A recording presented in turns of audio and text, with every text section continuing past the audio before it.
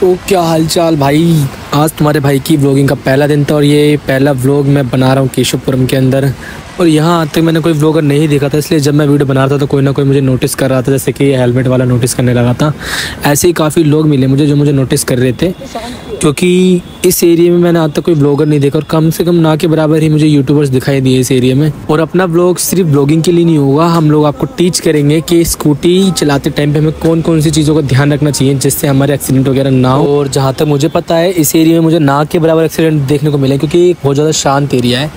और इस जगह में छपरी लोग भी बहुत कम देखने को मिले मेरे को। तो भाई स्कूटी चलाते टाइम हमें सबसे ज़्यादा इस चीज़ पर फोकस करना है कि सामने वाली गाड़ी क्या करने वाली होती है। जैसे कि मैं फोकस करता हूँ, जब भी गाड़ी चलाता हूँ, जैसे अभी चला रहा हूँ तो मैं देखते रहता हूँ कि कौन सी गाड़ी क्या करने वाली है। जैसे मुझे पता है कि सामने सबसे फ़र्स्ट वाली गाड़ी ब्रेक लगा रही थी, मेरे पास वाली भी गाड़ी ब्रेक लगाएगी इसलिए मैं भी अपने ब्रेक्स पर हाथ लगा लेता हूँ और ब्रेक दबाना स्टार्ट कर देता हूँ। इसी तरह जब भी आपको भी दिखाई दे गाड़ी की, सबसे आगे वाली गाड़ी स्लो हो जाए तो आपको भी धीरे धीरे अपनी गाड़ी को स्लो कर लेना है।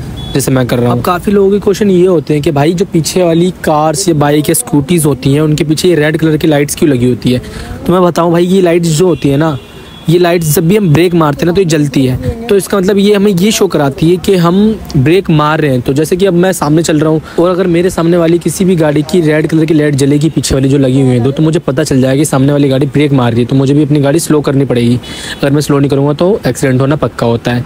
तो इसी चीज़ का आपको भी ध्यान रखना पड़ेगा। अगर सामने वाली गाड़ी की रेड लाइट जल रही है तो इसका मतलब ये है कि सामने वाला ड्राइवर ब्रेक मार रहा है। तो हमें भी अपनी गाड़ी स्लो करनी है, ताकि हम रश में स्लो ना करें अगर हम एकदम से स्लो करते हैं स्कूटी तो स्कूटी स्लिप भी कर जाती है कभी कभार या फिर हम आगे वाली गाड़ी में आके ठुक जाते हैं। और स्पेशली जब आप अंडर पास कर रहे हो, जैसे कि मैं पास कर रहा हूँ या फिर किसी हाईवे के बड़े फ्लाईओवर पे जा रहे हो तो आपको दोनों हाथ अपने ब्रेक पर ही रखना ठीक रहेगा अगर आप स्कूटी चला रहे हो, अगर बाइक चला रहे हो तो आपको ब्रेक पर ही रखना ठीक है, जैसे मुझे लगता है।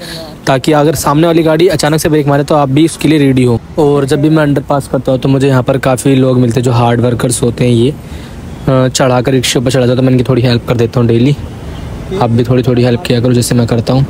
बाकी करना ना करना आपकी मर्ज़ी है, लेकिन लोगों की दुआ जल्दी लगती है तो मैं डेली इनकी हेल्प करता हूँ।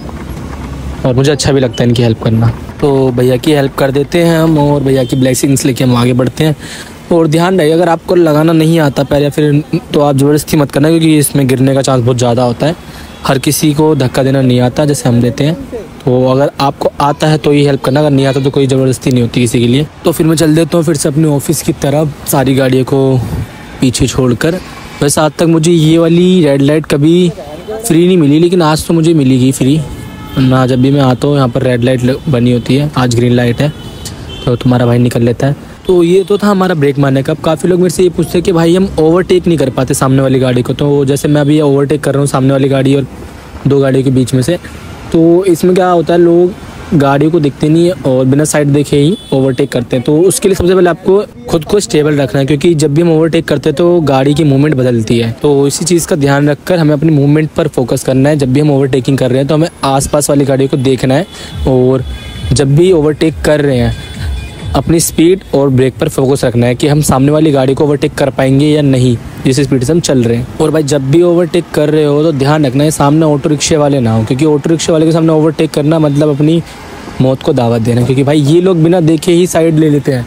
अगर आप ओवरटेक करें और ये साइड ले लेंगे तो एक्सीडेंट होना पक्का होता है। कि भाई, मैं तुमको करके दिखाता हूँ कि ओवरटेक कैसे करते हैं। अब जैसे सामने वाली कार जा रही है और सामने एक स्कूटी भी जा रही है। तो मेरे को इन दोनों के बीच से निकालनी है अपनी स्कूटी तो मैं पहले अपनी स्पीड बढ़ाऊँगा और चेक करूँगा कि सामने वाली जो मेरी स्कूटी जा रही है, वो ब्रेक मारेगी नहीं मारे जैसे उन्होंने ओवरटेक कर लिया, वैसे मैं भी ओवरटेक करने की कोशिश करूँगा। अब जैसे ये गाड़ी खड़ी थी इसको निकाला और अपनी स्पीड बढ़ाकर ओवरटेक करना। ये इजी वे होता है, सबसे आसान तरीका जो सेफली ओवरटेक में हेल्प करता है।